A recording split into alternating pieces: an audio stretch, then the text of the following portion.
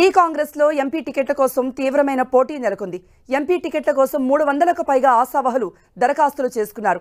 తమ వారికి టికెట్ ఇప్పించుకునేందుకు ఏకంగా మంత్రులే రంగంలోకి దిగడంతో అధిష్టానం ఎవరికి టికెట్ కేటాయిస్తుందోనని ఉత్కంఠగా మారింది. వచ్చే లోక్సభ ఎన్నికల్లో పోటీ చేయాలనే ఆశావహుల నుండి తెలంగాణ కాంగ్రెస్ దరఖాస్తులు స్వీకరించింది. గాంధీ భవన్లో ప్రత్యేక కౌంటర్ ఏర్పాటు చేసి నాలుగు రోజుల పాటు దరఖాస్తులు తీసుకున్నారు. మొదటి రెండు రోజులు పెద్దగా దరఖాస్తులు రాకపోయినా చివరి రెండు రోజులు మాత్రం దరఖాస్తుదారులు గాంధీ భవన్కు క్యూ కట్టారు. నిన్న ఒక్క రోజే నూట అరవైకి పైగా దరఖాస్తులు వచ్చాయి. మొత్తం పదిహేడు పార్లమెంటు స్థానాలకు దాదాపుగా మూడు వందల ఆరు వరకు దరఖాస్తులు వచ్చాయని తెలుస్తోంది.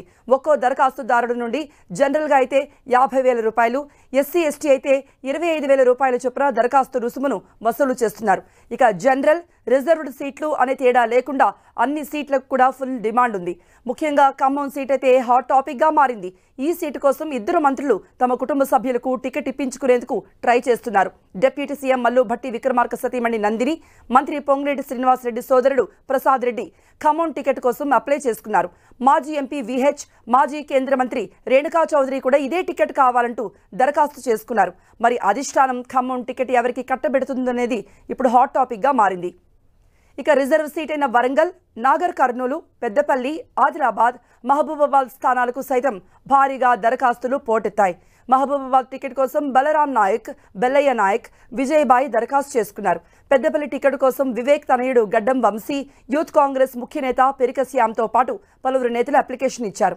ఇక సికింద్రాబాద్ టికెట్ కోసం వేణుగోపాలస్వామి అనిల్ కుమార్ యాదవ్ రోహిన్ రెడ్డి అప్లై చేశారు. ఇక మల్కాజ్గిరి టికెట్ కోసం సర్వే సత్యనారాయణ బండ్ల గణేష్ కపిలవాయి దిలీప్ కుమార్ సింగిరెడ్డి హరివర్ధన్ రెడ్డి గట్టిగా ట్రై చేస్తున్నారు. భువనగిరి టికెట్ కోసం ఎమ్మెల్యే కుంభం అనిల్ కుమార్ రెడ్డి కూతురు కీర్తిరెడ్డి చామల కిరణ్ కోమటిరెడ్డి పవన్ రెడ్డి వరంగల్ టికెట్ కోసం మోత్కుపల్లి నరసింహులు సర్వే సత్యనారాయణ పిడమర్తి రవి సిరిసిల రాజయ్య దరఖాస్తు చేసుకున్నారు. ఇక నల్లగొండ టికెట్ కోసం పటేల్ రమేష్ రెడ్డి జానారెడ్డి తనయుడు రఘువీర్ రెడ్డి అప్లై చేసుకున్నారు. చేవెళ్ళ టికెట్ కోసం పారిజాత నరసింహారెడ్డి కేఎల్ఆర్ దరఖాస్తు చేశారు. నాగర్ కర్నూలు కోసం మల్లురవి సంపత్ కుమార్ చారగొండ వెంకటేష్ ఆశావహులుగా ఉన్నారు. మొత్తానికి కాంగ్రెస్ ఎంపీ టికెట్ల కోసం ఆశావహుల నుండి భారీగా దరఖాస్తులు వచ్చాయి ఏఐసిసి నియమించిన హరీష్ చౌదరి నేతృత్వంలో తెలంగాణ ఎన్నికల స్క్రీనింగ్ కమిటీ ఈ దరఖాస్తుల్ని పరిశీలించి షార్ట్అవుట్ చేయనుంది.